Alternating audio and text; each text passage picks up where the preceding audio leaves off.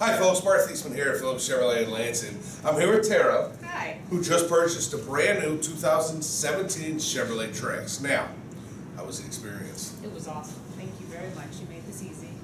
You hear that? I made it easy.